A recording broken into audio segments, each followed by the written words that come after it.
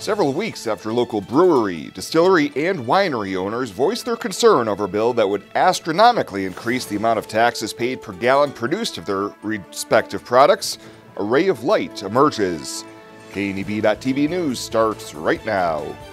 From your trusted source for news in western Nebraska and eastern Wyoming, this is KNEB.TV News. Presented by Platte Valley Companies, premier provider of financial services. Hello, I'm Ryan Murphy. This is KNEB.TV News, powered by Platte Valley Companies. Thanks for joining me. In our top story, the property tax relief bill is LB 314, and it would have exponentially increased the tax paid on every gallon of beer, wine, and liquor produced in Nebraska. This week, bill introducer Senator Tom Briese proposed an amendment to his bill that removes the excise tax, a decision that came after much discussion with craft brewers, vineyards, and local distilleries across the state. Last month, we spoke with Joe Margheim of Flyover Brewery, who cringed when he saw the proposal would have made Nebraska's tax rate on beer jump from 20th highest in the country to the highest tax state. Phil Mitchell of Great Plains Distillery said the additional $8.50 per gallon for his whiskey and vodka would have priced him out of the market and halted his current plans of relocating to downtown Scottsbluff. We also spoke with Ryan Massey of Papa Moon Vineyards, whose tax rate as a farm winery would have gone from 6 cents a gallon of wine to a whopping $2.62 per gallon. Briese said on his bill, a tax directly on one of the state's fastest and growing industries was not the answer for property tax relief. The same tax rate is also currently included in Senator Curt Friesen's LB 497, but Gering Senator John Stinner says he doesn't think it stands a chance. Yeah, uh, it it will be eliminated. That's basically what I've heard.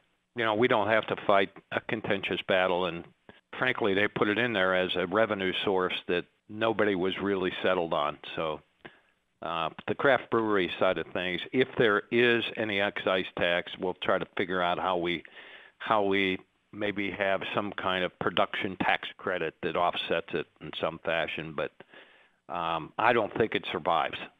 I, I really don't. Either one. Senator Briese says the amendment would include a 3% sales tax at the register, which would be a fair across the board tax and it would still collect money from consumers rather than producers to try to achieve property tax relief for Nebraskans.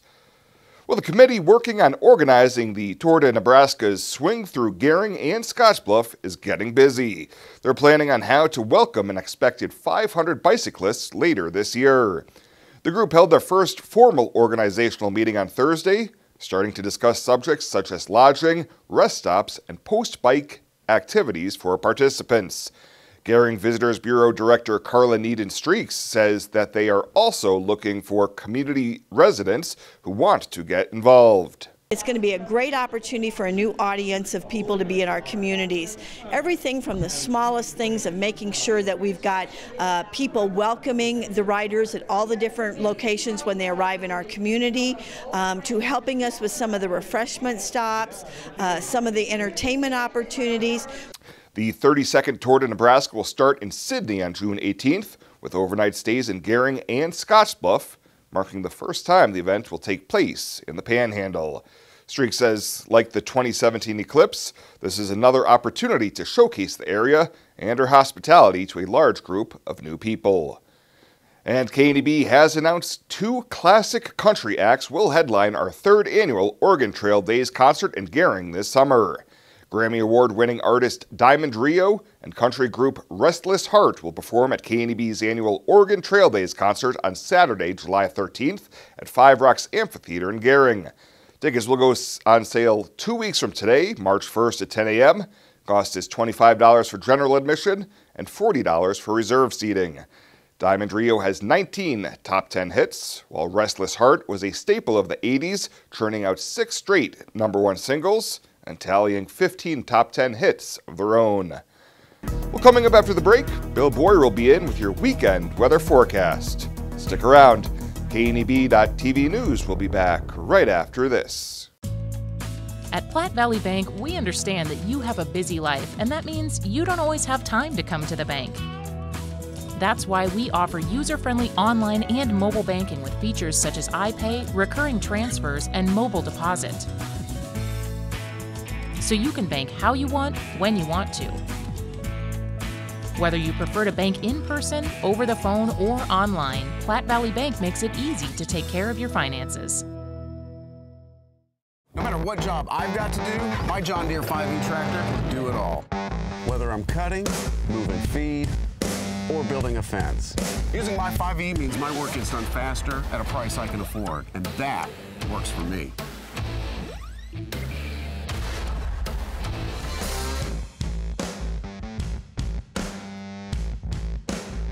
Visit 21st Century Equipment in Alliance, Torrington, Scottsbluff, and Bridgeport, or visit 21stcenturyequipment.com. Arby's 2 for 5 mix and matches here for a limited time. How limited? If I tell you, will you still come right now versus putting it off until oops, the deal is over? Arby's, we have the meats. For sandwiches. This is KNEB.TV weather from the Arby's Weather Center. Arby's, we have the meats. Well, just as a reminder, it is still winter if you had forgotten. Yeah, it's still out there. We had uh, some snowfall early this morning, but we warmed up. We're going to cool back down again tonight. Tomorrow, kind of a transition day as we're going to see a windy day, and then we're going to turn colder. Both Sunday and Monday looking pretty cold. You can't rule out some flurries. It's going to be cool really all of next week, and uh, some snow showers look like they're coming late in the week. 46 yesterday. That was at 2 o'clock in the morning. Uh, we dropped down to 21 uh, before, uh, right before midnight. Got even colder than that uh, as we got into this morning and temps were pretty cold out there. No precip officially through midnight. Nine hundredths, I believe, uh, in the rain gauge uh, as we melted that about inch and a half, two inches of snow down. So we're going to be right about normal when we add in what uh, we got since midnight. 44 in Denver, 41 in Lyman right now. That mild air right in our area. Much colder here to the north and east. One in Watertown, 12 in Norfolk. Look at our area though. Some uh, 20s teens even, Valentine, Mullen. Then we get to an area of here 20s, 30s, even a couple of 40 degree readings showing up on the map, including right here in Scotts Bluff. That's because winds are out of the southeast here versus northeasterly winds where it's kind of cooler. And uh, we're going to see that cold air start to work its way back in tomorrow. Wind chills, not much to worry about uh, here in the southwestern portions of the panhandle. Four in Valentine, eight in Mullen, 10 right now in Gordon. Let's put Futurecast in motion. We have a few clouds uh, that are going to filter in and across the area overnight. Can't rule out a hit or miss flurry or snow shower. Snow, any uh, snow accumulations are going to be minor through the weekend, but I think we could see some flurries really any day over the weekend. Lows tonight, upper teens to near 20, single digits in the sand hills. For tomorrow, then, we'll start the day partly to mostly cloudy. We'll have some clearing skies at times, and then by tomorrow afternoon, the winds are going to pick up get pretty strong here across the region. We'll have to keep a close eye on those winds, but generally speaking, things are looking pretty uh, gusty wind-wise as we go through the evening hours, uh, afternoon hours tomorrow, and temperatures are going to be in the 30s, upper 20s, uh, even some low 20s in the sand hills. That's the last of the nice days because it's going to change abruptly uh, as we go Sunday and into Monday. 20, clear to partly cloudy. Can't rule out a flurry tonight. Can't rule out a flurry tomorrow either. Windy conditions. Winds will be out of the southwest. They'll become northwest and drop those temps in the afternoon at 20 to 30 miles an hour. We'll bottom out in the teens on Saturday night, only to get to near 20 or so, both Sunday and Monday, with a few flurries possible. Lows in the single digits. Mid next week, maybe into the mid 30s, but again, more chances of snow showers late Thursday and into Friday of next week as we stay pretty active and certainly cold uh, and below normal temps here for the next seven days. Arby's 2 for 5 mix and matches here for a limited time. How limited? If I tell you, will you still come right now versus putting it off until oops, the deal is over? Arby's, we have the meats. For sandwiches. Shopping local is great for building our community. At TC and More, they offer the newest trends and latest fashions. They have new items arriving daily. Enjoy complimentary coffee as they show you these new arrivals. New home decor, clothing, flags, jewelry, willow tree figurines. Don't forget their wide variety of teaching supplies, large selection of games, as well as homemade lotions and soaps. Thank you for thinking of TC and More for those special items. TC and More, 1621 Broadway in beautiful downtown Scottsbluff.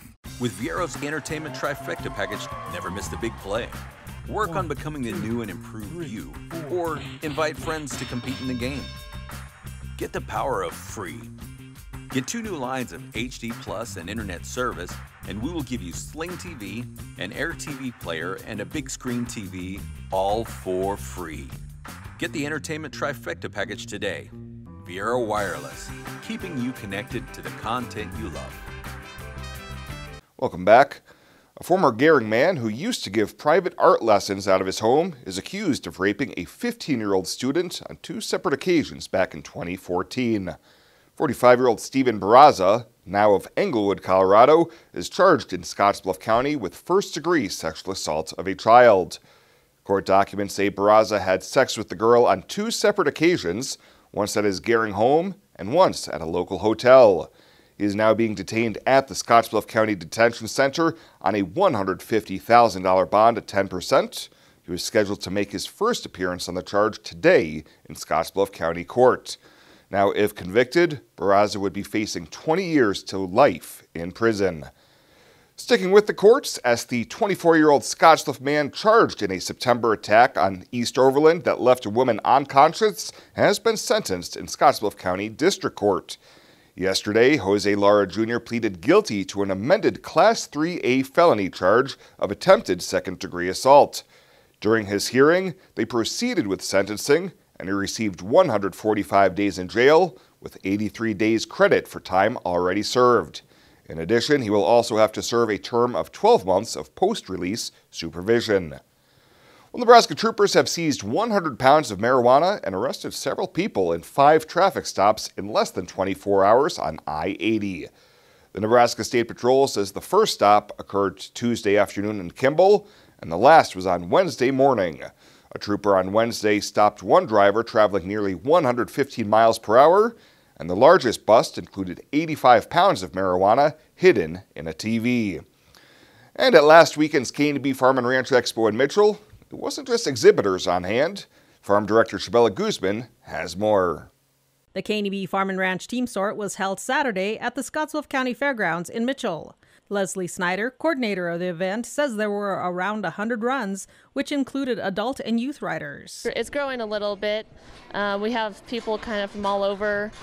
Some people from Cheyenne came out today, so we are happy that the roads were good. And they they came uh, they go to sanctioned events, so I'm happy they came that we can get a little tips from them and just kind of keep growing and learning. The youth riders were first to ride, with riders as young as 5 up to 14, followed by the adult riders. Among the riders was Val Baker of Minatare and her horse HH Diamond Rio. Um, she's my actual team roping horse, but brought her here today to uh, have something different to do with her. Keeps him in shape. She's real quick, and that's what you kind of want for this kind of event, and uh, something that's uh, going to kind of stay with you, and you can point them where you need them.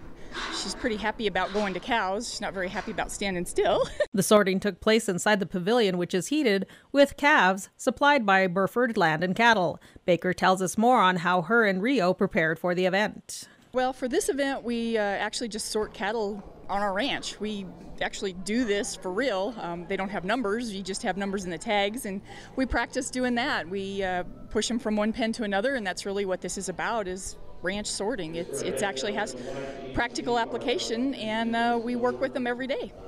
The results for the youth division include first and second place Hannah Winters and Keith Hall. Third place was Hannah Winters and Brianna Hall. In the Open Division, first place was Frank Stoffer and Keith Hall, second place, Joe Ferguson and T.C. Wills, and third was Keith Hall and Brianna Hall. Ahead, Hannah and Alex are in with a special edition of Friday 5, looking back at 150 years of the University of Nebraska system. They'll be back with that right after this on KNEB.TV News. The Mixing Bowl in Gering serving breakfast and lunch every day using Grandma Ruth's recipes for five years. Stop for lunch and try a Cali Turkey BLT or one of our gourmet burgers. Have a homemade cabbage burger or butterball soup on Thursdays. Or try our weekend brunch and have cinnamon roll pancakes or the roasted duck benedict. Stop by the Mixing Bowl on your way to work and grab a freshly baked muffin, Grebel, or Dana Kuga out of our bakery case and a specialty coffee made just for you. The Mixing Bowl, 1945 10th Street in Gering, bringing great food and great people together.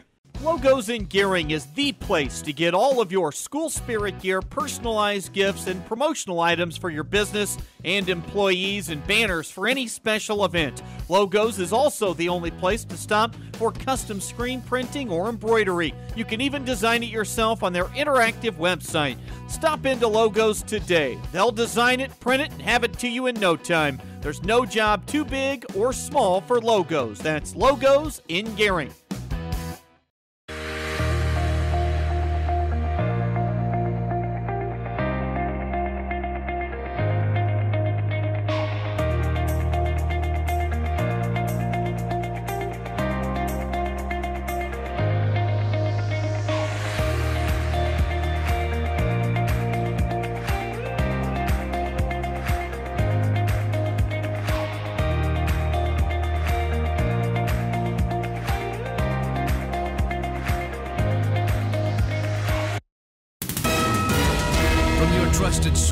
News in western Nebraska and eastern Wyoming, this is KNEB.TV News.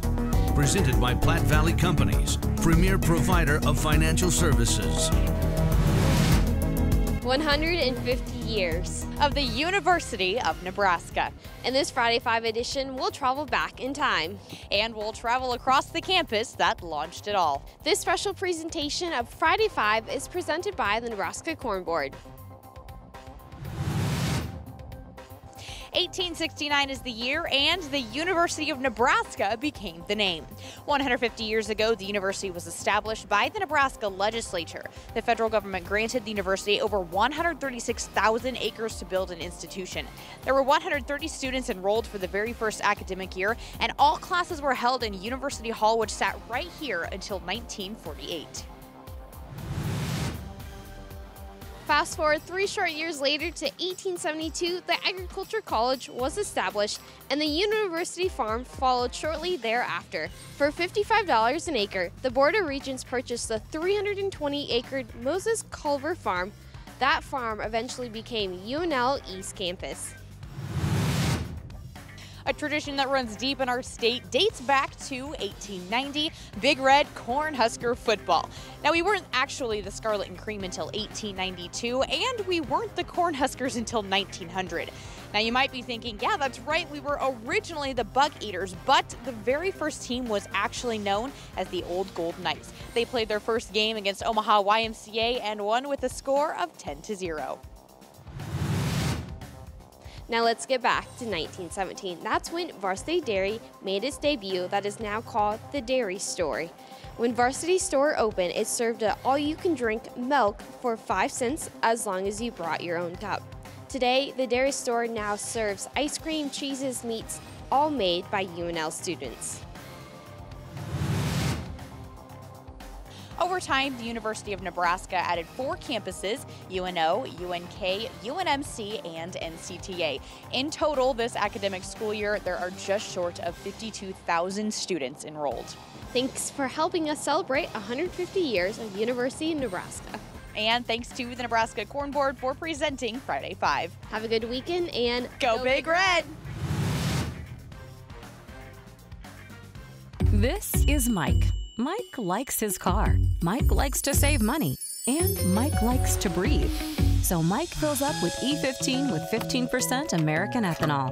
The clean octane in E15 gives Mike the performance he wants from his engine and the clean air he wants for his family. Better yet, E15 costs less at the pump. Higher octane, cleaner air, lower cost. E15 sure gives Mike a lot to like. Discover E15 with American ethanol.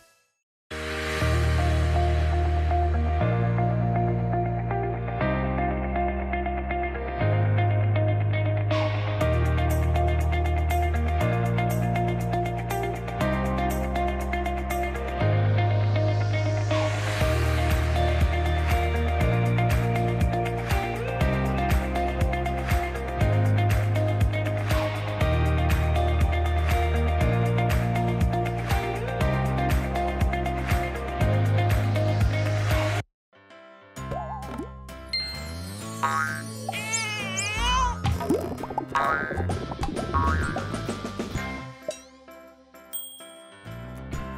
Heilbrun, State Farm Agent, is here to protect all the moving parts of your life.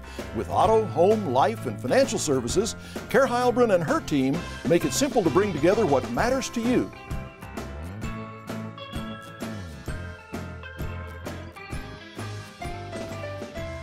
Regional West is one of three Level 2 trauma centers in Nebraska. We have all the resources here 24 hours a day to address any traumatic injury.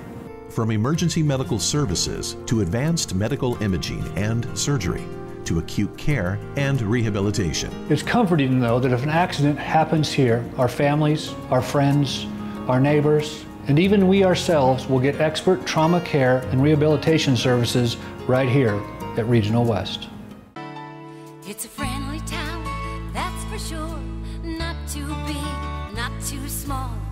Like everybody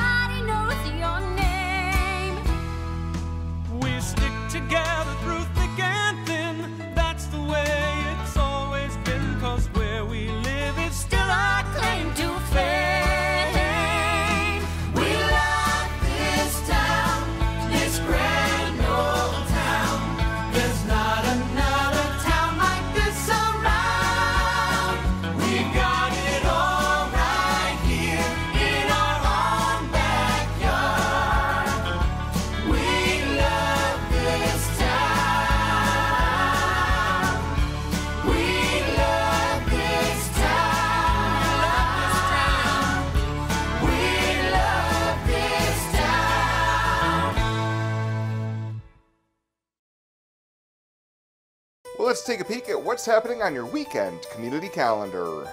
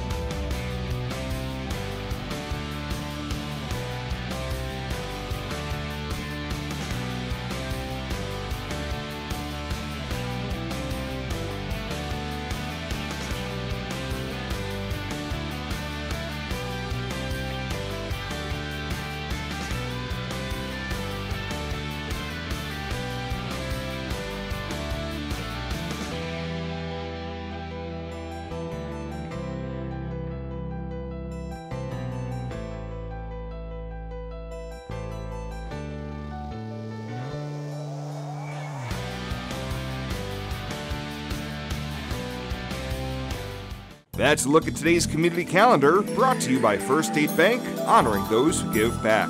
Nominate your community champion at fsbcentral.com. This chair is way too big. It's perfect for us. This one's tiny. That's because it's mine. Hey, this chair is just right. This bed is way too hard. It's perfect for me. This bed is way too soft. Ah, just what I needed. This bed is just right. So come on over to Leeds Heads. It is never too early to start planning for retirement, and working with an experienced financial advisor can put you on the right path. At Platte Valley Investment Center, our team of financial advisors will work with you every step of the way to maximize your retirement income. Call me, Jody Rosiska, or Rick Morehouse, financial advisors, to set up your free, no obligation consultation. Raymond James Financial Services Incorporated, member FINRA SIPC. Life well planned. And finally, tonight, before we break for the weekend, it's once again time to honor the Platte Valley Company's Star Student of the Week.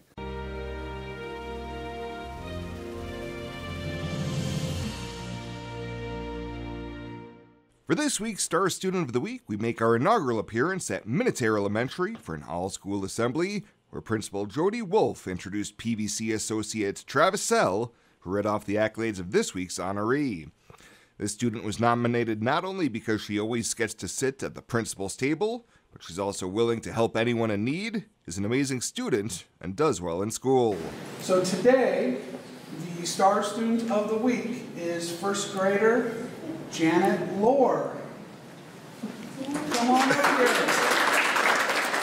First grader Janet Lohr came front and center to accept her Star Student of the Week t-shirt, and afterwards, it was time for a little Q&A to find out what makes the Star Student tick. All right, Janet, congratulations.